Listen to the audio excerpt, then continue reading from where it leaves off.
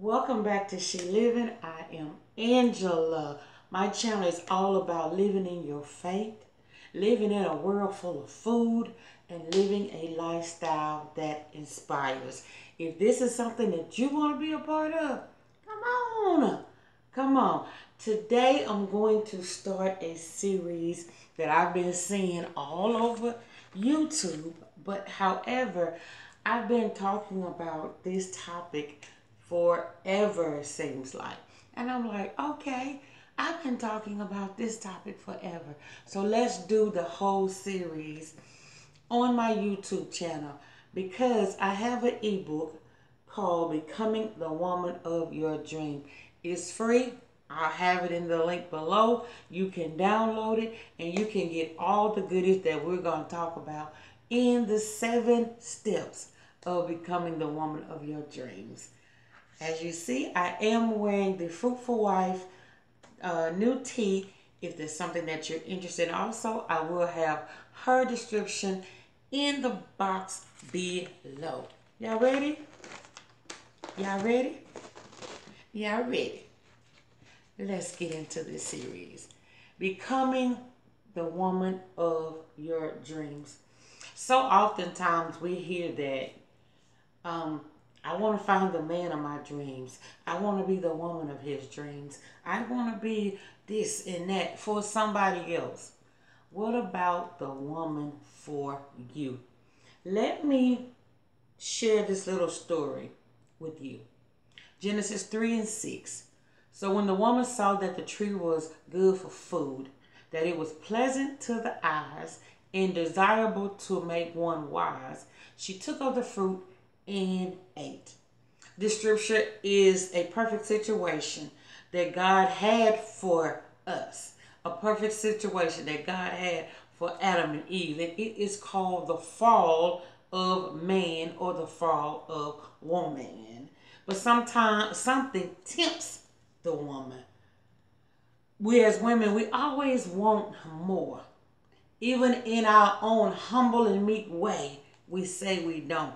Even in our own ladylike and dainty self, we always want more. And contrary to what some may think, a lot of us want to be in control. The woman is tempted by the serpent. She eats the fruit and give it to her husband. This is one of the, of the most fatal moments in scripture and in the history of the world. After listening to the lies, the woman saw the forbidden fruit pleasing to her eyes. However, there's a saying everything that looks good to you ain't always good for you. However, there's a saying. I just said that. Which means judging things by appearance. It only gets you into trouble. We must be wise to rely on God's wisdom and not our own. As the story continues, the woman blames the serpent because of her disobedience. Punishment comes. The woman will bear children in great pain and will be led by men. Paradise is lost. Women will bear children in great pain, will be led by men. Paradise is lost. And today, we must fight extra hard to gain our honor, extra hard to gain our voice. And we will begin on a journey of discovering the woman that we were created to be. How about the woman of your dreams? Step one love yourself. Love yourself. When it comes to loving ourselves, a lot of times we find it hard because we've been through so much and we feel like we can't overcome. And some of us even feel like we're not even worthy of love. We're not even worthy to even love ourselves. We're not even worthy to accept love because we've been either mistreated, abused, talked about, made fun of, bullied, and we can't love ourselves. How about this? Ask people in your life, why do you love me? What is it about me that you love? especially family and friends. Now you know they will be honest, and some of them be honest to a fault. Ask them what it is that you see in me that you love. What is it about me that you love? Because just because I'm a family member, I can love you in God's way, the way God says love. But just because I'm a family member, it's still things that I that a family should be able to love about you. Okay? Let's do this. I'm so big on writing, so big on jotting down notes and doodling. I'm so big on that.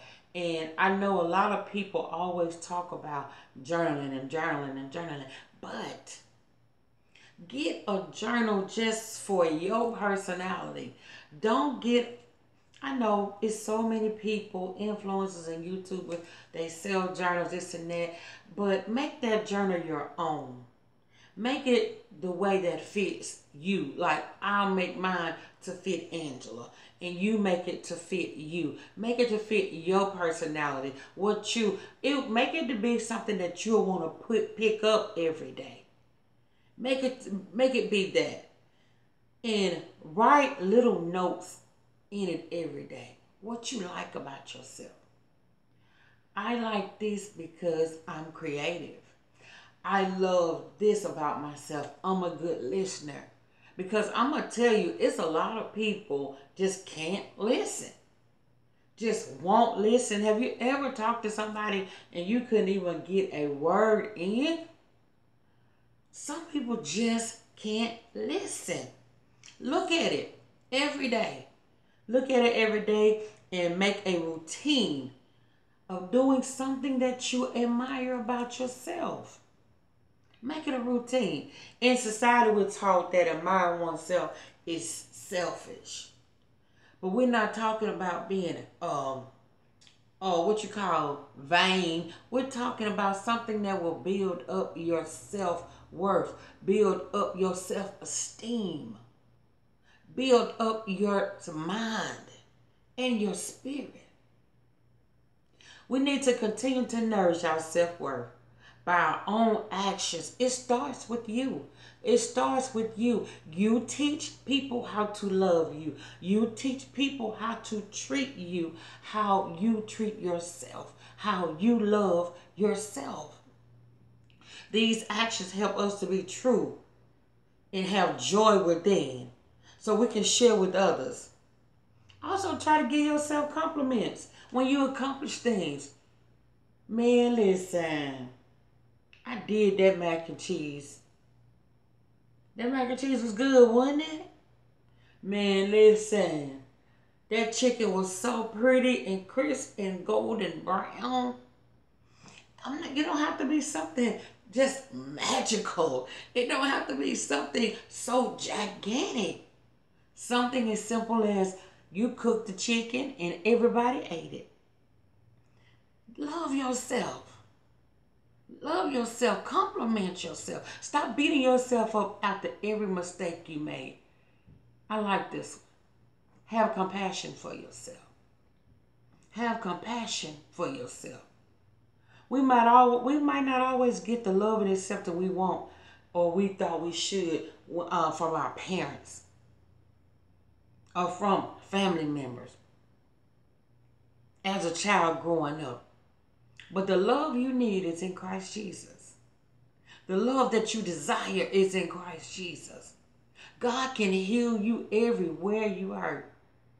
Every broken heart, every broken spirit, every broken mind, God can do it. And He can make you whole again to love yourself. Somebody is just waiting on that testimony. Somebody is just waiting on that story to, for you to say, how I didn't love myself in this season in my life. You know what? At 21, I couldn't stand myself. But now at 31, I think I am all of that in a bag of chips. Come on. Come on. I can share stories of being abused. I can share stories of being heartbroken. I can share many, many stories of being talked about. But today, I st- sit before you a free woman. Because now I understand who I am in God. Now I understand all the trials and tribulations. It was for somebody. It was for to tell somebody because he lives. I live and I am living. Love yourself. Love yourself. It was hard for me to love the woman I once was because love was stripped uh, from me at an early age. I have learned that only God can love me unconditionally. Only God can love you only unconditionally. Especially when I left God and didn't make him my priority. How many of us been there? We done left God. And he wasn't priority in our life anymore. And when you leave God, you lose your self-worth. You end up doing anything. You end up taking anything. You end up being the butt joke of every. You're a joke. Now, you scramble your mind all over the place. Now you don't know who you are. And now you can't even grasp that little ounce of love. Love yourself. Love yourself. When you have when you have love like this, you can't help but to love yourself. God shows us our worth, and it is only through him that we live, that we move, and that we have our very being. God has allowed his son to die for us. So if we are worth dying for, surely you're worth living and loving for. The first step of becoming the woman of your dreams is to love yourself.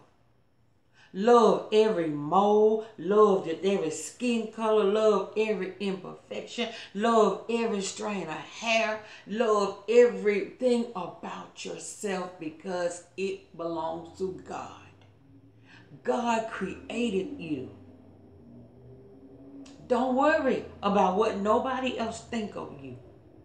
You become your better self by start loving and forgiving yourself. Asking God to help you. If God, show me what you see. Show me who I am in you. Show me what you love about me. So it can build up my spirit, man. So it can build up my confidence so I can walk in boldness, so I can walk in the newness of God. Because I'm becoming the woman of my dreams, the woman that God created me to be. The visions and goals and dreams that God has for me, I'm becoming that. I don't want to miss it in this season. I don't want to miss God in this season. I want to become all that God has for me. And what God has for me is my goal, is my dream, is my path, is my ministry, is my career, is my direction, is my purpose. But it starts with loving who God has created you to be. Love yourself. Love yourself. That was the first step in becoming the woman of your dreams. Love yourself. Love yourself. Love yourself enough to say, you know what? I'm going to cut off the noise. You know what? I'm going to take this time for me. You know what? I'm not being selfish, but I need to listen for direction. I need to hear God's voice so I can find my voice. I'm becoming the woman of my dreams. Yeah, it's it, I know it's about you. I know you think you're great. I know you think you're fabulous. But right now, I'm becoming the woman of my dreams. And it all starts with loving me. Okay? Don't forget to comment, like, subscribe, share this video. Share this video. Give me your feedback. What steps are you making to love yourself? What steps are you making to love yourself? I'll see you in part two of Becoming the Woman of Your Dreams. Bye.